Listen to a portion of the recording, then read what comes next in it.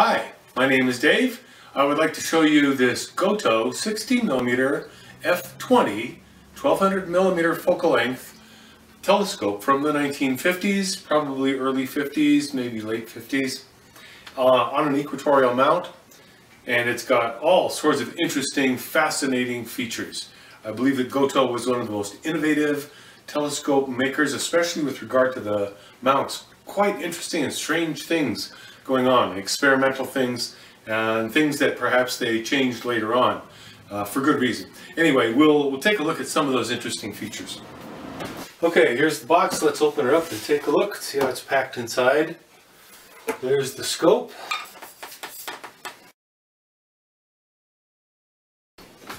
Let me show you how easy it is to set up this tripod.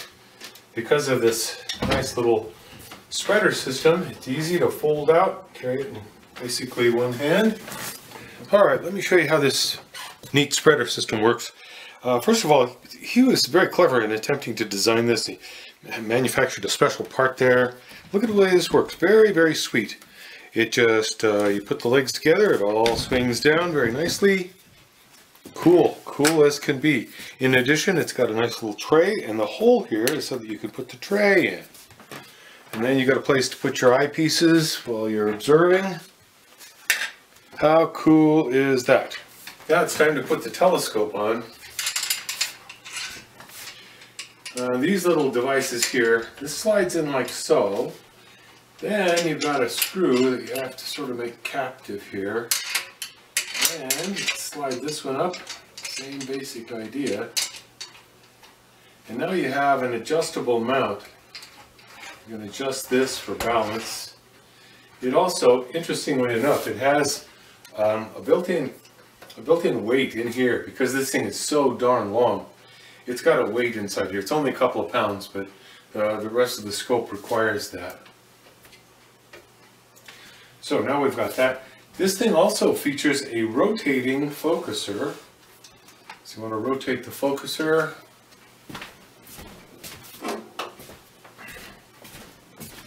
The finder slides on from the rear. Uh, I don't like that. Uh, and I believe they didn't like it either because I think my 80 millimeter Goto is newer.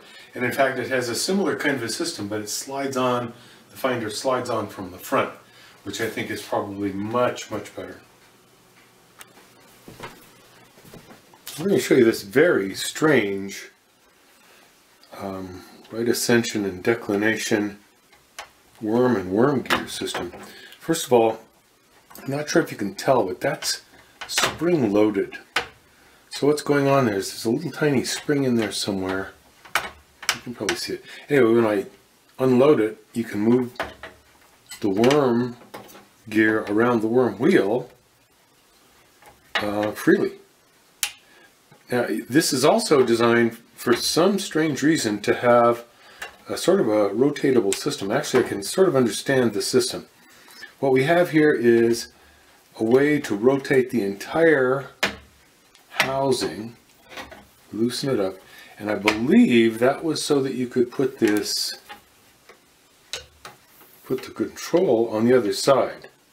It's common to be, you know, to switch from one side of the mount to the other, so to speak. Well, with this system, if you're clever, you can move that whole thing around.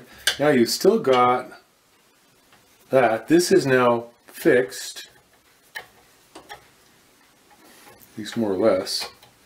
So you now have your worm and worm gear on this side. And you can work it, so forth, lock it down or free it up and find things and so forth. I believe that was the idea. Uh, it's very, very confusing. I'll tell you from experience.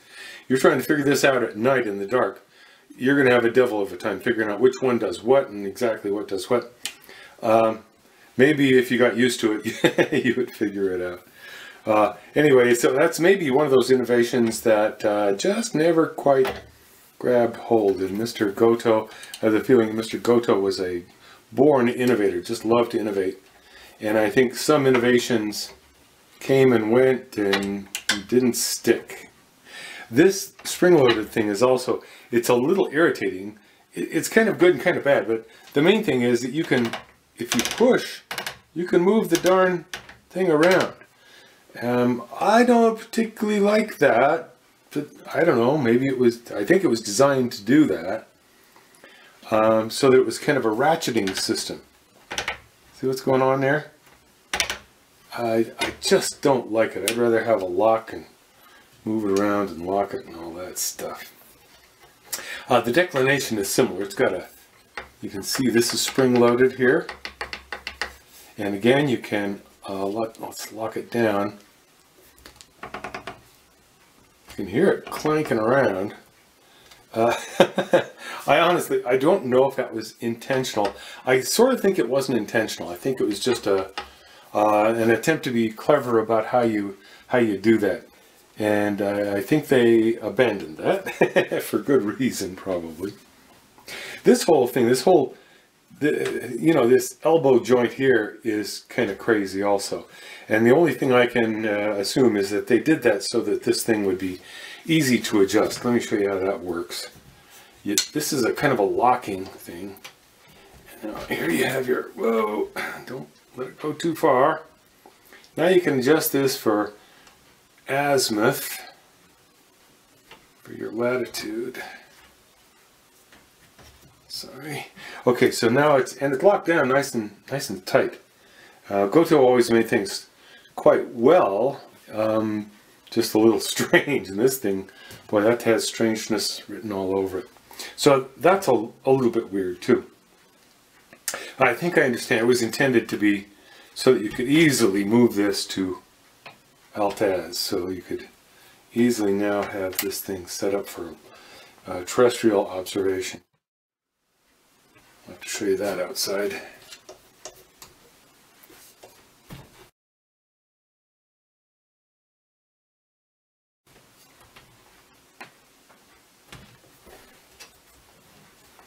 Uh, also, I wanted to show you these. This is not original. These two are not original.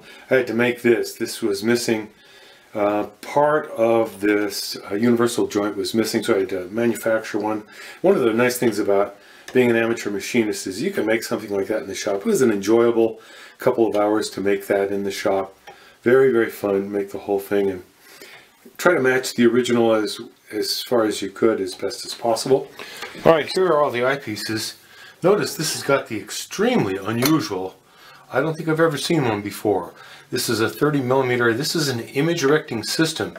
So it's a it's a fixed length eyepiece. It's not a zoom eyepiece. It's 30 millimeters. There's optics all the way through there, several lenses and so forth. Uh, very old school kind of a way to do it. Uh, and then it's got the wonderful and unique Goto system where you have a 12.525. So you use this device here and you take this out and put that in and so forth and you can change it from a 12.5 to a 25. Uh, once again, an innovation that never really quite caught on. It's a little bit inconvenient. Of course, you don't want to be doing that in the middle of the night. Well, maybe you do. And then there's the dreaded sun filter. You, of course, do not use those. That goes on the cap of, of any of the eyepieces. You remove the little nameplate. Here's a nice Goto star diagonal. This scope is now set up for outside observation in Altaz. And as you can see, it's very, very long. This is a 30 power image erecting eyepiece. I'm um, sorry, 30 millimeter image erecting eyepiece. So this is about a, so this is a 40 power image erecting eyepiece. Even reaching the focuser here is not trivial.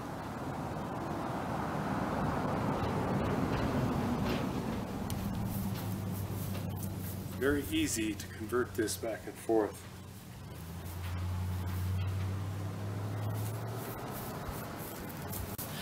I hope you've enjoyed this tour of the Goto Model 105 60 millimeter f20 telescope. Thank you very much for watching.